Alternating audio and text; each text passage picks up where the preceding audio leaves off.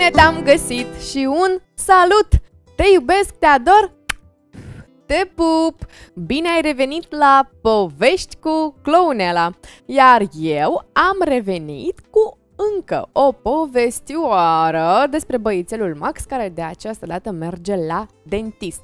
E din aceeași serie Șoricelul Cititor de la editura Didactica Publishing House. Max merge la dentist. Apropo despre uh, dinții de lapte și cei de oameni mari um, și chiar sunt curioasă să aflu la cine din voi a venit deja zâna măseluță. De la cine zâna măseluță deja a luat un dinte sau câți dinți a luat deja zâna măseluță de la voi. Acum hai să vedem uh, Max câți dinți dă. Max merge la dentist. Max și prietena sa, Paula, se joacă de-a monștrii. Înainte de toate, despre monștri se știe, sunt foarte zgomotoși. Ua, te mănânc! Liniște! strigă Felix, fratele mai mare al lui Max. Faceți atâta gălăgie că se clatină pereții! Pereții nu se clatină, răspunde Max, monstrul șef. Mie mi se clatină doar un dinte, spune Paula. Max cere voie să verifice cu grijă dintele Paulei. Din cauza gălăgiei, spune Felix, iată de ce ți se clatină dintele. Dacă mai țipați, vă vor cădea toți dinții. Max nu îl crede pe Felix. Știe că fratele lui își dorește doar liniște. Atât. Zice Felix că dacă strigăm foarte tare ne cad dinții. Uh. Dar când Max se trezește în toiul nopții pentru că a visat monștri fioroși de tot soiul, cu dinți uriași, observă că și lui se clatină un dinte, caninul de jos, din partea stângă. Nu mai stă la locul lui. Și dacă Felix a avut dreptate, poate că el și Paul au țipat cam tare. Oare îi vor cădea toți dinții? Oare îi vor cădea dinții pentru că au țipat prea tare atunci când s-au jucat de-a monștri? Precaut, Max își trezește părinții. Trebuie să mergem imediat la dentist. Vreau să-mi lipească dintele la loc, spune Max. Dar nu trebuie să ți-l lipească la loc, spune tata căscând. La vârsta ta este normal, bă, miam, miam, miam, miam, zice tata. Dinții tăi de lapte încep să se clatine și apoi vor cădea ca să îți apară dinți noi. Dar nu trebuie să ți-l lipească la loc, spune tata căscând. La vârsta ta este normal. Dinții tăi de lapte încep să se clatine și... Oh, vor cădea ca să-ți apară dinți noi, a zis tata. Nu-mi pot păstra dinții vechi? Tata, eu sunt mulțumit de dinții mei. De ce aș avea nevoie de alții noi? Max, dinții noi sunt mai buni decât cei de lapte. Sunt mai mari și mai puternici. Tata se întoarce pe partea cealaltă, stinge lumina și murmură. Iar cui se clatină dinții nu mai este copil mic, ce crește mare. Deci asta e minunat, Max, a zis tata în cele din urmă. A doua zi, când se întâlnesc, Paula îi povestește lui Max. M-am luptat cu trei monștri uriași, dar i-am învins pe toți. Din păcate, unul dintre ei mi-a scos un dinte. Rânjește ea și îi arată lui Max că nu are un dinte. Max rămâne uimit. Paula are un loc gol, unde se afla dintele. Caninul care îi se clătina ieri a dispărut. Dar Max nu cade în capcana poveștii cu moștria Paulei, a fost doar un dinte de lapte, el deja știe. Pentru că are un dinte lipsă, Paula poate să fie acum monstrul șef, arată cu adevărat înspăimântător. Max este nemulțumit pentru că Paulei i-a căzut un dinte, iar el îl tot mișcă pe al lui. Cu limba îl împinge înainte, înapoi, înainte, înapoi. Exact asta faceți și voi atunci când vi se clatenă dinții, bine? Nu știu dacă la voi v-au căzut deja sau nu, dar în momentul în care vi se clatenă un dinte, trebuie să-l împingeți cu putere, ca să fie mai ușor să cadă. Apasă cu limba, apoi cu un deget, dar nu se întâmplă nimic. Pur și simplu, dintele, el doar se clatină. Ha, pot să-ți scot eu dintele, i-a propus Felix. Am putea încerca mai întâi cu un clește, uh, sau poate cu o sfoară și undița. Nici vorbă! Max nu se lasă păcălit de asemenea invenții. Felix oftează, a vrut să facă mișto și a vrut să se amuze. Ha, bine, micuțule, atunci mai e o singură soluție. Trebuie să sari înapoi, într-un picior, în jurul mesei și să strigi piftie, piftie, piftie, piftie. După 50 de tururi, îți promit că va cădea și dintele. Astea sunt niște aiureli, spune Paula. Trebuie doar să aștept să-ți scadă dintele care se clatină. Atât, i-a spus Paula, lui Max și lui Felix. Seara, după cină, Max se pregătește de culcare. Nu uita să te speli pe dinți, îi amintește mama. De ce să mai fac asta? Dacă tot îmi cad dinții de lapte, nu mai e nevoie să-i spăl, se gândește Max. După ce cad, îi spăl, a propus Max, adică să nu-i spele când sunt în gură dinții, dar să îi spele după ce ei vor cădea. Nu se poate asta, Max, spune mama. Trebuie să te speli și pe dinții de lapte, altfel se strică. Iar până când îți apar dinții cei noi, trebuie să ai grijă de dințișorii tăi de lapte. Câteva zile mai târziu, Max are o programare la dentist, la doamna Măseluță, așa o numește el. Doamna Măseluță este stomatologul lui Max. Max se simte ușor amețit când se cațără pe scaunul cel mare, dar, din fericire, tata este acolo și îl poate ține de mână. Max trebuie să deschidă gura cât mai larg pentru ca doamna măseluță să îi examineze dinții. Ha, ia uite, unul se clatină, se bucură doamna măseluță descoperind dintele buclucaș. Ia o oglinjoară și se uită și la partea din spate a dinților. Hmm, dinții tăi sunt sănătoși, Max. Trebuie să continui să îi speli temeinic ca să-i păstrezi mereu așa. Cel mai bine este să-i perii de 3 ori pe zi, adică după fiecare masă. Pe drumul de la cabinetul stomatologic spre casă, Max își tot mișcă dintele care se clatină. Și când autobuzul trece peste o groapă, se întâmplă brusc! Dintele cade! Max îl scoate cu grijă din gură. Am, sângerează puțin, dar nu-i nimic. Ura! Ura! strigă Max și îi arată mândru tatălui său dintele căzut. Max se întâlnește cu Paula și îi povestește cum i-a căzut și lui dintele de lapte.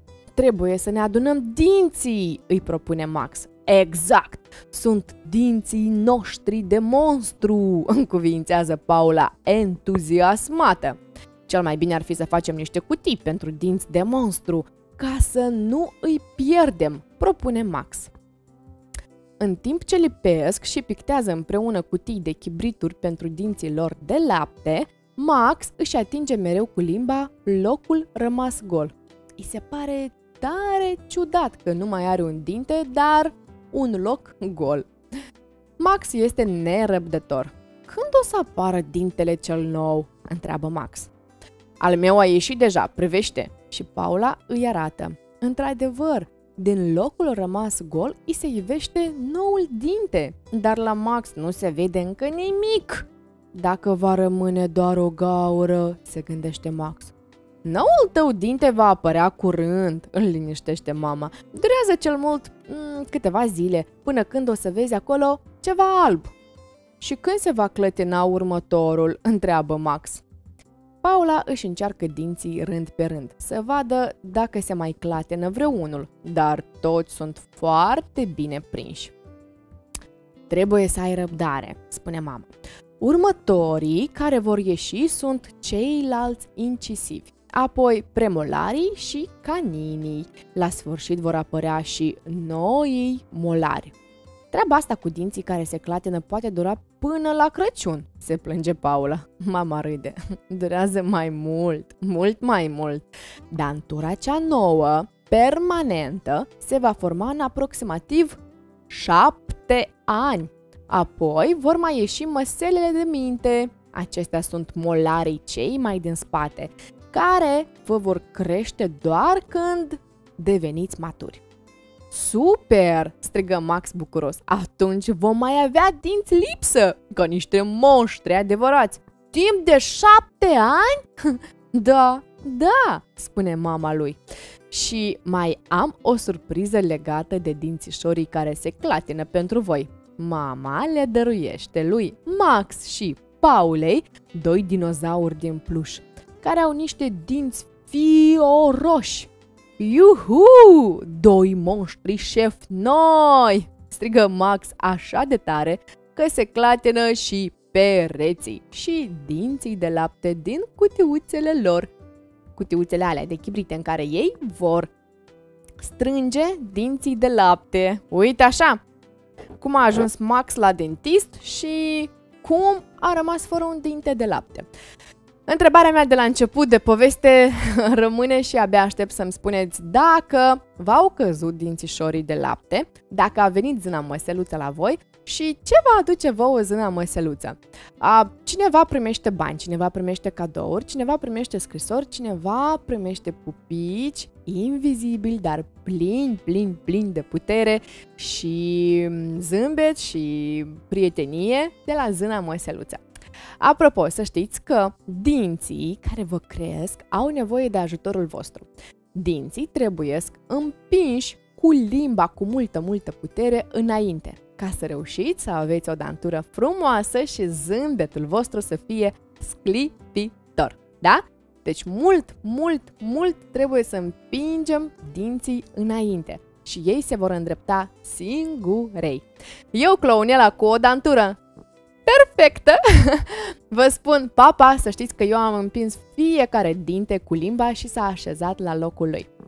Să mă credeți, deci aveți un exemplu. Eu, clownela, am această dantură pentru că am reușit să împing fiecare dinte cu limba și l-am pus la locul lui. Exact asta vă urez și vouă. Eu vă pup, vă îmbrățișez și sper că voi citi fiecare comentariu al vostru în care îmi veți descrie istoria istoria voastră cu zâna măseluță. Vă pup cu mare, mare drag! Pupici! Pa! Îți mulțumim pentru vizionare și te invităm în continuare pe platforma Patreon. Devino patronul Clownela. Ce înseamnă să fii patronul Clownela? Presupune o contribuție de minim 3 dolari pe care o poți face lunar sau o plată unică pentru a susține proiectul Teatrul Planeta Clownela și trupa Planeta Clownela. Îți mulțumim și te așteptăm cu mare drag! Salutare! Eu sunt Clownela, ador cărțile și poveștile. Iată de ce, seară de seară, dau o întâlnire tuturor copiilor pe canalul nostru de Facebook și Instagram într-un live, unde discutăm despre cărți și tot ceea ce ne înconjoară. Iar la 21.00 ne întâlnim la povești cu Clownela, unde voi citi cele mai frumoase, educative și interesante povești pentru copilul tău. Abonează-te la canalul nostru YouTube trupa Planeta Clownela ca să fii la curent când începe povestea. Eu te pup și te aștept la Povești cu Clownela. Într-o lume minunată, unde ați fost copii și voi, ne vom face mari vreodată și noi. Vom pleca la casa noastră, voi veți deveni bunici, Însă azi suntem alături aici. Să ne luăm de mână și să ne îmbrățișăm. Și hai să ne promitem solemn că o să ne jucăm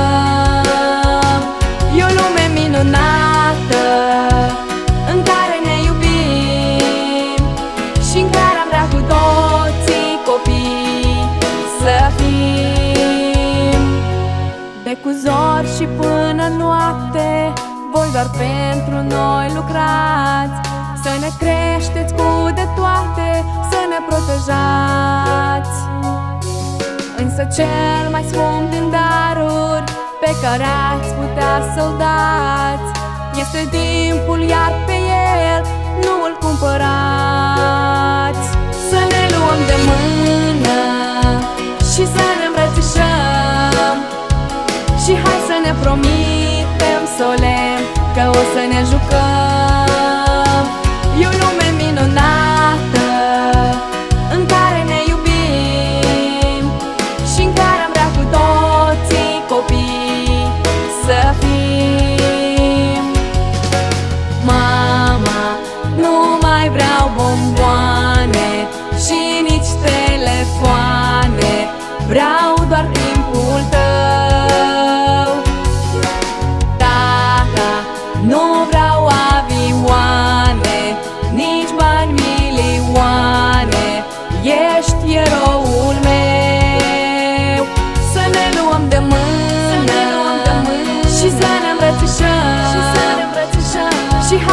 promitem solemn Că o să ne jucăm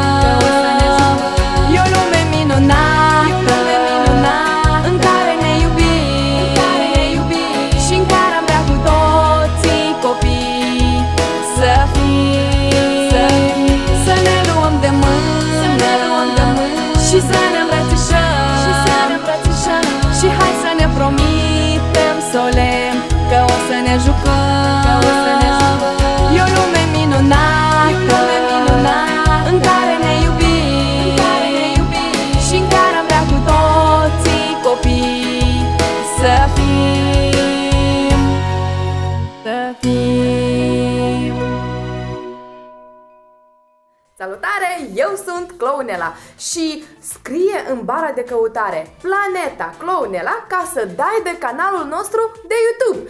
Te aștept cu mare drag acolo. Abonează-te! Abonează-te! Abonează-te! Abonează-te!